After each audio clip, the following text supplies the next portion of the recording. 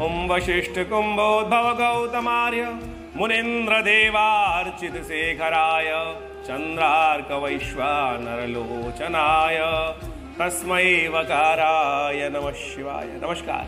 स्वागत है आपका आज के गुड लक में। हर रोज की तरह हम उपस्थित हैं आपके समक्ष किस्मत के सितारों की चाल को बताने वाले शो को लेकर, जिसका नाम है आज का गुड लक। आज सोमवार है और सोमवार भी बहुत खास। सावन का सोमवार तीसरा सोमवार। और इस दिन असंभव को भी संभव बनाने का कार्य हो सकता है और खास तौर पर श्रद्धा और विश्वास के साथ जो शिव के समक्ष आज उपस्थित होते हैं, उनके जीवन में असंभव से असंभव कार्य भी पूर्ण कर सकते हैं, धनलक्ष्मी को प्राप्त कर सकते हैं, सम्मान प्राप्त कर सकते हैं, प्यार प्राप्त कर सकते हैं। तो अपनी मनोकामना के अनुसार शिव को रिझा सकते हैं, शिव को खासतौर पर प्रसन्न कर सकते हैं। ये सारे रहस्य हम आज के कार्यक्रम में उपस्थित करेंगे। सबसे पहले बात कर लेते हैं आज के पंचांग की। पंचांग के अनुसार से श्रावण चल रहा है, शुक्ल पक्ष विद्यमान है और साथ साथ सोमवार का दिन है।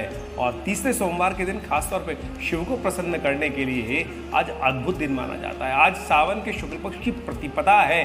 कठिन से कठिन कार्य को पूर्ण करने के लिए, शिव का आशीर्वाद प्राप्त करने के लिए, साधना और भक्ति के लिए ये सोमवार जो है, तीसरा सोमवार उत्तम माना गया है। श्रद्धालु इस दिन भगवान शिव का मंत्र जप करके, खासतौर पर वामदेव, सत्यजात, अघोर मंत्र को जप कर कर असाध्य से असाध्य काम भी भगवान के द्वारा पूर्ण करा लेते हैं, मनोकामना सिद्धि करा लेते हैं और आज नक्षत्र भी बहुत शुभ विद्यमान है। अश्लेषा नक्षत्र जो मूल है, वो विद्यमान है। शुभ मुहूर्त का समय नोट कर लीजिए, वो रहेगा सुबह ग्यारह बज के चालीस मिनट से लेकर बारह बज के बीस मिनट तक। इस समय कोई नया कार्य आरंभ करना हो तो उसका लाभ ले सकते हैं। राहुकाल को भी जान लीजिए। राहुकाल का जो समय है, आज सुबह साढ़े आठ बजे से लेकर नौ बज के बावन मिनट तक रहेगा। उसके साथ साथ अपने काम को आरंभ करते हुए आप शुभ कार्य कर सकते हैं। भगवान शिव को प्रसन्न करने के लिए सभी लोग शिवलिंग के जलाभिषेक करने की व्यवस्था बनाते हैं। और जो भगवान शिव का जलाभिषेक करते हैं, भगवान उन पर प्रसन्न होते हैं। इस जगत में भगवान शिव ही ऐसे देवता है जिनको प्रसन्न करना सबसे सरल है, जल से। भी उनको समर्पित कर आप प्रसन्न कर सकते हैं और शास्त्र के अनुसार से क्या? प्रत्यक्ष के अनुसार भी आप अपनी मनोकामनाओं की सिद्धि प्राप्त कर सकते हैं। बात मनोकामना की हुई है तो नोट कर लीजिए, आज के शुभ योग में कौन सी गुप्त एक कोई यदि गुप्त मनोकामना हो तो उसको पूर्ण करने के लिए एक अद्भुत योग है, उसका लाभ ले सकते हैं। पाँच गांठें, खासतौर पर ऐसी हल्दी ले लें जिसमें पाँच गांठें हो। और पीले सूत में उसको बांधकर काली जी के मंदिर में कोई पीपल का पेड़ हो, आज की प्रतिपदा के शुभ योग में जाकर वहाँ बाँध दीजिए। देखिएगा धीरे धीरे आपकी मनोकामना प्राप्ति के यानी आपकी मनोकामना सिद्धि के योग अद्भुत रूप से बढ़ेंगे। अब बात कर लेते हैं आज के राशिफल की। मेष राशि वालों, आपकी राशि में क्या कुछ कह रहे हैं ग्रह? हम आपको अपने ज्योतिष ज्ञान के माध्यम से बताते हैं। आज घर परिवार में किसी सदस्य को लेकर थोड़ी चिंता मन में हो सकती है। विद्यार्थियों के लिए शिक्षा प्राप्त करने के लिए क्षेत्र में कुछ अड़चने आती दिखाई दे रही हैं। दाम्पत्य जीवन सुख में रहेगा। प्रयास करें कुछ शुभ रास्ता अपनाने का प्रयास करें। आज के दिन में शुभ अंक जो है सात रहेगा। शुभ रंग जो है क्रीम और सफ़ेद आपके लिए दिखाई देता है। सफ़ेद कपड़े पहनना आपके लिए बेहद शुभ है। तो यही उपाय है। इसका लाभ लेने का प्रयास कीजिए। वृक राशि वालों के लिए आज का दिन कैसा है? जान लीजिए। आज का दिन आपके ग्रहों के अनुसार से मिला जुला सा रहता दिखाई दे रहा है। व्यापार में कुछ नए अवसर आपको प्राप्त होते दिखाई दे रहे हैं, जिनको लेकर आपका मन प्रसन्न हो सकता है। आर्थिक दृष्टिकोण से आज का दिन मुझे ग्रहों के योगा योग के अनुसार से उत्तम दिखाई देता है। आपके लिए जो शुभ अंक आज की गणनाओं से निकल रहा है छः जी हाँ छः अंक आपके लिए बेहद शुभ है। शुभ रंग जो है वो खासतौर पर गुलाबी या पारदर्शी रंग, जो ट्रांसपेरेंट रंग हो, वो बड़ा उत्तम रहेगा। गुड़ और मसूर की दाल का खाने में प्रयोग करें और ख़ास तौर पे इसको दान भी कर सकते हैं। आपकी ऊर्जा अद्भुत रूप से बढ़ेगी। अगली राशि बात करें, उससे पहले एक व्हाट्सअप ले लेते हैं। जो व्हाट्सअप आया है दिल्ली से, अंशुमाला जी का व्हाट्सअप है। वो कह रही है, उनका जीवन जो है, थोड़ा निरस्सा हो गया है। यानी टेस्ट आना, जीवन में ऐसा भाव हो गया बोर हो गई है। उनका सब कुछ करते हुए मन थम सा गया है। ज़िंदगी में ऐसा लग रहा है कि सब कुछ थम, रुकावट आ गई है, थम गया है, रुक गया है। और पारिवारिक जीवन में खुशियाँ कहीं गायब सी हो गई है। सावन का श्रेष्ठ महीना है और बहुत जीवन में उन्नति लाने योग बनाता है। सावन के महीने में बारिश जब भी हो तो कोशिश करें उस पानी को एक ताम्र पत्र में इकट्ठा कर लें। ताम्र के पात्र में इकट्ठा कर लें और ढक्कन बंद कर कर अपने घर की उत्तर पूर्व दिशा में उसको रख दें। और जब भी घर से बाहर जाएँ, थोड़ा सा अपने ऊपर छिड़क लिया करें। आप देखिएगा, जो खुशहाली आपके जीवन में आपको लगता है नहीं है, या धन लाभ होना कम हो गया है। इस ज़िंदगी में या कोई मकसद सामने आता है और विशेषकर उससे लाभ नहीं हो पा रहा है तो धीरे धीरे उससे आपको लाभ प्राप्त होना शुरू हो जाएगा। और साथ साथ एक बात नोट कर लीजिए, एकादशी के दिन भगवान विष्णु और भगवती महालक्ष्मी को इसी जल से स्नान भी करा दिया कीजिए। अगली राशि के संबंध में बात कर लेते हैं। राशि नंबर तीन, मिथुन राशि वालों। मिथुन राशि वालों, आपके लिए कुछ नया काम शुरुआत होने के लिए आज का दिन अच्छा दिखाई देता है। हो सके तो सफलता प्राप्त करने के लिए आज के दिन का लाभ आपको लेना चाहिए। संतान के लिए, किसी कार्य में निवेश करने के लिए जो वो करने जा रहे हैं, उनका मन बनता दिखाई दे रहा है। दिल खोलकर काम करने का प्रयास करें, भविष्य में भरपूर लाभ प्राप्ति के संकेत दिखाई देते हैं। आपके लिए जो अंक शुभ मुझे गणनाओं के अनुसार से दिखाई देता है, वो दिखाई देता है चार। और जो रंग शुभ है, वो भूरा या सलेटी रंग शुभ रहेगा। आप खासतौर पर चंद्रमा की पूजा करें। चंद्रमा के मंत्र का जप करते हुए आज का दिन का आरंभ करिए। देखिएगा धीरे धीरे आर्थिक स्थिति बेहतर होने के अद्भुत योग बनेंगे। कर्क राशि वालों के लिए आज का दिन कैसा है? चंद्र प्रधान कर्क राशि वालों, आपकी राशि के अनुसार से मन में कुछ नया विचार, आइडिया उत्पन्न होता दिखाई दे रहा है, परंतु सावधान रहेगा, उसको गुप्त रखने का प्रयास कीजिएगा। किसी की बातों में आ आएँगे तो परेशानी आती दिखाई दे रही है। आज आप किसी प्रियजन व्यक्ति को शुभ समाचार मिलते दिखाई दे रहे हैं तो लाभ लीजिए, समय का आगे बढ़ने के योग बनाए आपके लिए जो अंक शुभ है, वो आठ है। और खासतौर पर काला और नीला रंग बेहद शुभ रहेगा। हनुमान जी को गुड़ चने का प्रसाद चढ़ाए। देखिए, स्वास्थ्य भी अच्छा होगा, आगे बढ़ने के योग बनेंगे। व्हाट्सएप से आए एक मैसेज की बात कर लेते हैं उसके बाद राशियों के संबंध में बात करेंगे और बात करेंगे आज के विशेष उपाय। फतेहपुर यूपी से खासतौर पर एक प्रश्न आया है रजनी त्रिपाठी जी का। उन्होंने लिखा है कि उनके बड़े बेटे की शादी आ, से खास तौर पे आ, जब भी प्रयास करती है आगे बढ़ाने की शादी की बात कुछ ना कुछ परेशानी आ जाती है रिश्ता हो नहीं पाता। काफ़ी परेशान है कोई उपाय जानना चाहती हैं और ताकि जिससे शादी का विलम्ब ना हो। शीघ्र विवाह के लिए एक अचूक मंत्र दे रहा हूँ। सावन का महीना चल रहा है, इसका लाभ लाभ ले सकते हैं। अपने लड़के को कहिए कि एक बारह मुखी रुद्राक्ष, मैं कहूँगा, आप ही धारण करवा दें उनको। और प्रतिदिन सुबह शिवालय में जाकर 108 बार अघोर मंत्र का नित्य जप करा करें अघोर मंत्र इस प्रकार से, मघोरेभ्यो तो घोरेभ्यो, घोर घोर तरेभ्या, सर्वेभ्या, सर्व सर्वेभ्यो, नमस्ते द्रुवेभ्या ये अघोर मंत्र है, जब कोई काम हो ही ना रहा हो। हमने प्रत्यक्ष कई बार करके देखा, अपने आश्रम में यज्ञ के द्वारा। जब मंत्र, जो कोई भी काम ना हो रहा हो पूरी तरह से, सब चीज़ निस्तेज हो गई हो, तब यह अघोर मंत्र, अघोर कल्प का प्रयोग करने से अद्भुत रूप से लाभ प्राप्त हो रहा है। और खासतौर पर इस मंत्र का जप करते हुए शिवलिंग पर केसर और गाय के कच्चे दूध से अभिषेक करें। देखिए, कहीं ना कहीं जो बार बार बात कटती थी, बन जाएगी। विश्वास की ज़रूरत है, श्रद्धा की ज़रूरत है। करिए, रास्ता हमने बताया, आपको लाभ प्राप्त होगा। आज इस कार्यक्रम में आप, हम आपको बताने जा रहे हैं, शिव की पूजा करते समय किन किन बातों की सावधानी बरतनी चाहिए। देखिए, हर कर्मकांड के सिद्धांत के अनुसार से कुछ नियम है। यदि आप उन नियमों को नहीं पालन करेंगे तो आप जो कर्म करते हैं, वो निष्फल हो जाता है। हम आपको बताने जा रहे हैं, कुछ सावधानियों के बारे में नोट कर लीजिए। बहुत सारे लोगों को अज्ञानता के कारण से तांबे के लोटे से भगवान को अभिषेक करते वक्त दूध चढ़ा देते हैं। ये नहीं करना चाहिए। ये एक अपराध है। देखिए, दूध हमेशा पीतल या चांदी के बर्तन से ही भगवान को समर्पित करने का प्रयास करें, वही शुभ रहेगा। आजकल वैसे आप स्टील को यूज़ नहीं करना चाहिए, हमारे कहीं नियम नहीं है इसका। लेकिन सबसे श्रेष्ठ जो है वो पीतल या चांदी, यही पात्र सबसे श्रेष्ठ है। तो इनका उपयोग करने का प्रयास करना चाहिए। अन्यथा बिल्कुल अद्भुत रूप से लाभ प्राप्ति की जगह कष्ट के योग बन जाते हैं। तांबे में दूध डालना खास तौर पे ऐसा कहा जाता है, मदरी का, मदिरा के समान हो जाता है और जहर के समान हो जाता है। तो इस बात का ध्यान रखने का प्रयास कीजिए। शिवलिंग पर दूध, दही, शहद या कोई भी वस्तु चढ़ाने के बाद आपने दूध से स्नान कराया, फिर दही से स्नान कराया, फिर शहद से स्नान कराया, इस बात का ध्यान रखें कि दूध से स्नान कराने के बाद फिर भगवान को जल से स्नान कराएँ, शुद्ध। आप ओष्टामय भुवसानुजे दहतनम हे रणाक्ष से इस मंत्र का जप करते हुए या शुद्धिकरण, शुद्ध शुद्ध जले ने स्नानम समर्पयामी। फिर दही का स्नान कराएँ, फिर शुद्ध जल से स्नान कराएँ। और फिर ये नहीं कि दूध चढ़ा के छोड़ आए और फिर वही सफ़ाई, यानी शुद्ध जल से स्नान नहीं कराए। इस बात का ध्यान रखना चाहिए। जो भी आप करा रहे हैं स्नान, चाहे आपने द्रव्य से स्नान कराया, चाहे आपने दही से कराया, चाहे दूध से कराया, चाहे इत्र से कराया या भस्म से कराया। तो उन सबके स्नान कराने के उपरांत आप शुद्ध जल अवश्य साफ़ कर दें उसको। अन्यथा ये अपराध माना जाता है। बहुत सारे लोग शिवलिंग पर धूप अगरबत्ती वहीं साइड में लगा देते हैं। शिवलिंग पर धूप बत्ती क्यों? ये ये भगवान को आपने प्रत्यक्ष रूप से माना है या पत्थर मान रखा है? एक जगह बनाइए, वहाँ अलग से रखिए। भगवान के शिवलिंग के ऊपर धूप बत्ती क्यों? उनसे ताप, उनको भी ताप लगता है। और ठीक है, आप विश्वास रखते नहीं, विश्वास अंदर जगाने का प्रयास करें कि साक्षात शिव है, साक्षात पत्थर नहीं, वो मूर्तिमान शिव साक्षात आपके समक्ष विराजमान है। तब वास्तविकता आपको लाभ मिलेगा। शिवलिंग पर, खास तौर पर, जब ऊपर कलश जो रखा होता है, उसमें दूध डालकर स्नान तभी कराएँ जब अभिषेक कर रहे हो। वैसे नहीं कि दूध डाला है और ऊपर से स्नान करा दिया। शुद्ध जल का अवश्य ध्यान रखें। साफ़ जल चढ़ता रहे, यही सबसे उत्तम है। अन्यथा, वो पूजा का एक अपराध माना जाता है। इस बात का हमें ध्यान रखने का प्रयास करें। केवल रुद्राभिषेक में, जलेरी के समय पर जलेरी में दूध डालें, अन्यथा दूध ना डालें। इस बात का ध्यान रखने का प्रयास करें। शिवलिंग पर सिंदूर नहीं चढ़ता, रोली नहीं चढ़ाई जाती।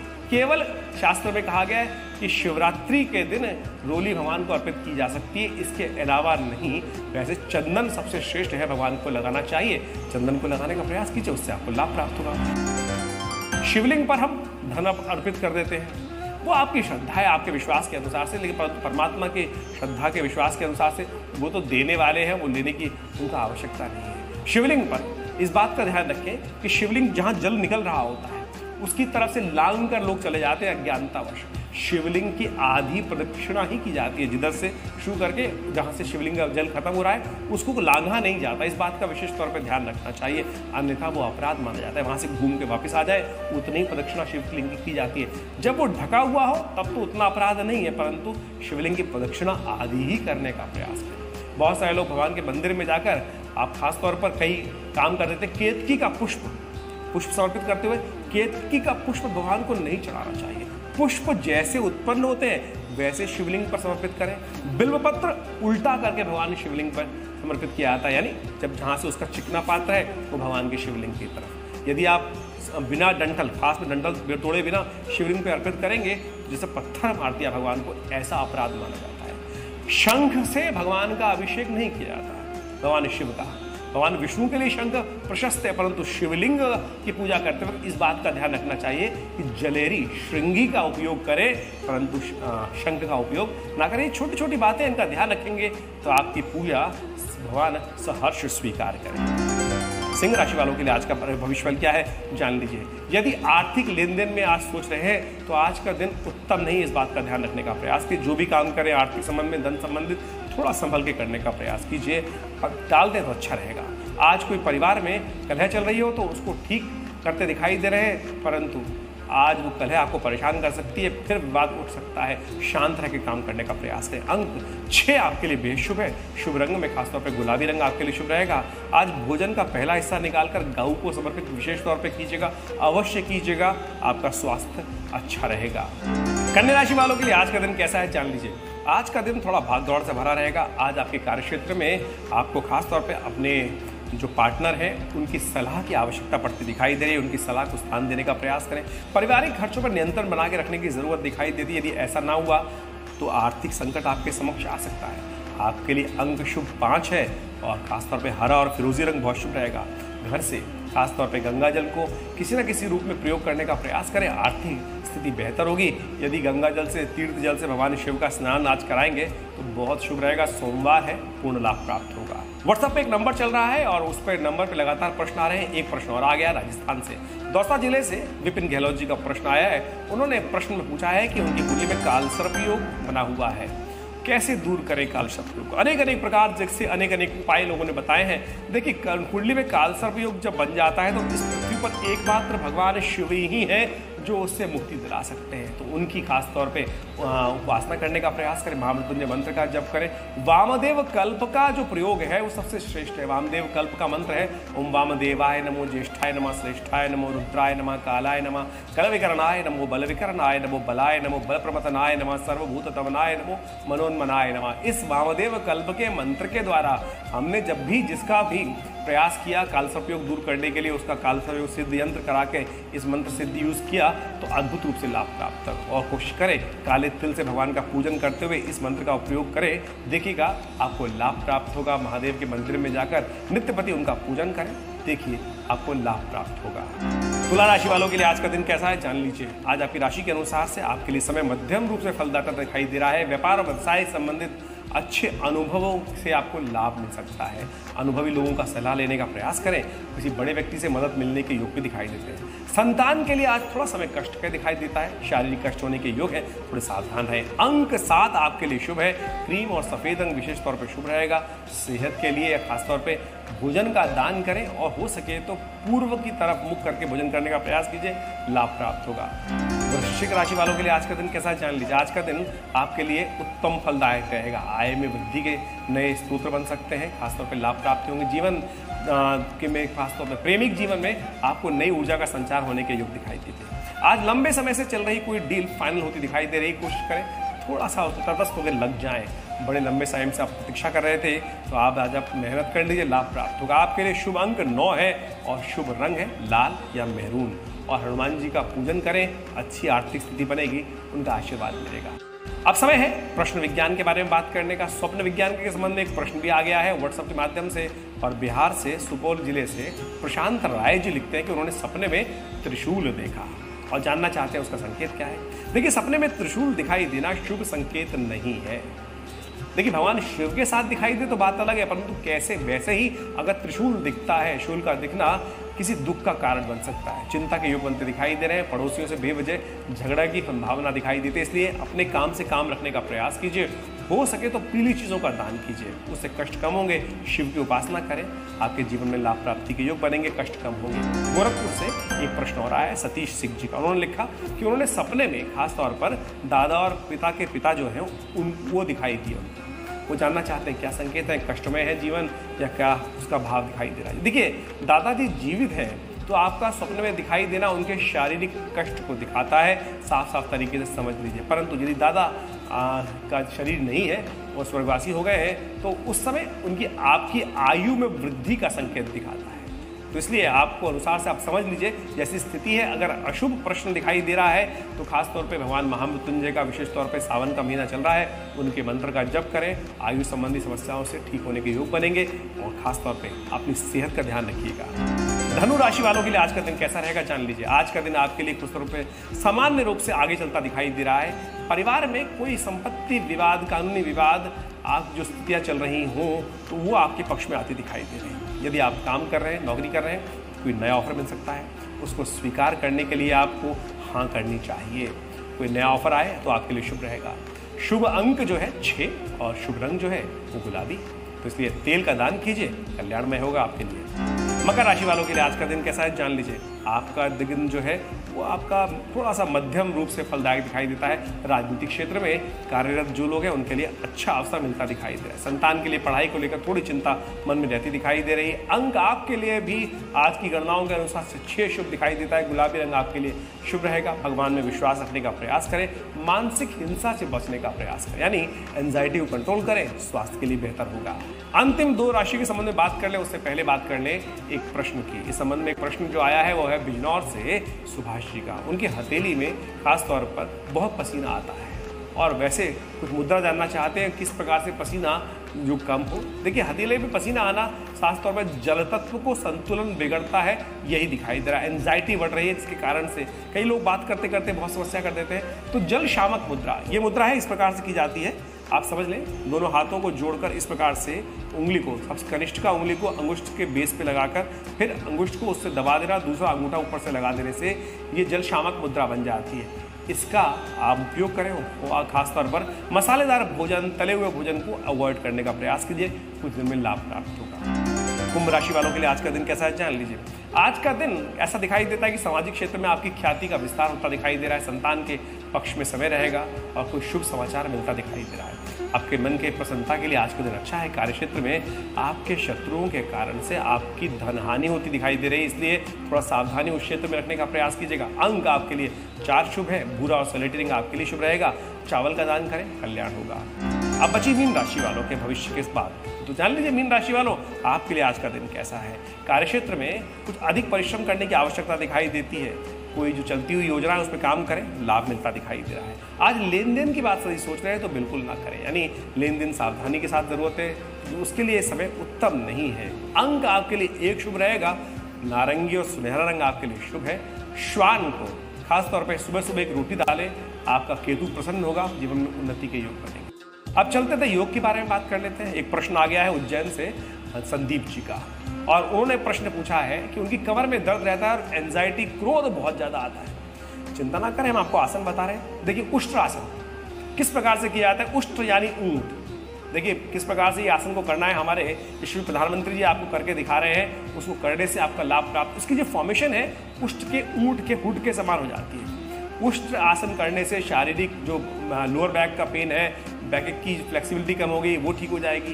क्रोध का में लाभ प्राप्त होगा, क्रोध पे विजय प्राप्त कर पाएँगे और शरीर तेजस्वी बनेगा। इसको आप नित्य प्रति करने का प्रयास कीजिए। आप वज्रासन की तरह बैठ जाएँ, उसके बाद फर्श में बैठने के बाद दोनों घुटनों के बल पे खड़े होने से, वज्रासन करने के बाद दोनों घुटनों पे खड़े हो जाएँ और हाथ को हाथों से पैरों के जो एरिया है, उन पर हाथ रख लें। धीरे धीरे लंबा गहरा सांस भरते हुए अपनी कमर को उठाने का प्रयास कीजिए। ये अद्भुत रूप से आसन लाभ देगा आपकी एंजाइटी को, आपकी कमर को, आपकी पूरे शरीर को लचीला बनाने का काम करेगा। थोड़ी थोड़ी देर इस आसन को कीजिए लाभ प्राप्त होगा। माँ अम्बे करेंगे कल्याण। अब चलते चलते बात कर लेते हैं हेल्दी टिप की। देखिए कोविड पूरे भयावह स्थिति में पूरे विश्व में बना हुआ है और साथ साथ आजकल बारिश का मौसम चल रहा है। ऐसे में पसीना बहुत आता है और पसीना आने के साथ साथ आपके शरीर से सोडियम पोटेशियम कम हो जाते हैं। गुनगुने पानी में, हल्के से या सादे पानी में, नींबू पानी का थोड़ा सा रस उसमें भुरा हुआ जीना खासतौर पर जाल दीजिए। उससे आपके अद्भुत रूप से लाभ प्राप्त होगा। आपके शरीर में सोडियम, पोटेशियम की जो मात्रा है वो ठीक हो जाएगी। आपके शरीर में यूरिन संबंधित बहुत समस्या हो जाती है। देखिए, जब बारिश का मौसम चल रहा होता है तो पसीना आता है तो यूरिन का मानने लगता है। तो उससे शरीर में टॉक्सिन बहुत इकट्ठे जाते हैं। और इसका सेवन करने से उसमें भी लाभ प्राप्त होगा। पाचन तंत्र को ठीक करने में भी नींबू और जीरा अद्भुत रूप से लाभ देगा। एसिडिटी संबंधी ठीक करने में मोटापे को लिए यदि गुनगुने पानी में इसका उपयोग करेंगे तो लाभ प्राप्त होगा। कई बार आपके शरीर से जब आप पसीना आता है तो उसके साथ दुर्गंध भी उत्पन्न हो जाती है। उसको ठीक करने में नींबू और जीरा अद्भुत रूप से लाभ देने वाला है तो आप इसका उपयोग करिए, आपको लाभ प्राप्त होगा। इस प्रकार से हर रोज हम आपके समक्ष उपस्थित होते हैं। आपको हेल्दी टिप्स से लेकर आपके जीवन में ग्रहों का खेल क्या चल रहा है, वो सब आपको समझाते हैं। कल फिर आपके समक्ष उपस्थित होंगे और बताएँगे कल का दिन आपके लिए कैसा रहेगा आपकी राशि के अनुसार। तब तक के लिए नमस्कार। ओम सर्वेश्वराय विदमहे, शूलहस्ताय धीमहि, तन्नो रुद्र प्रचोदया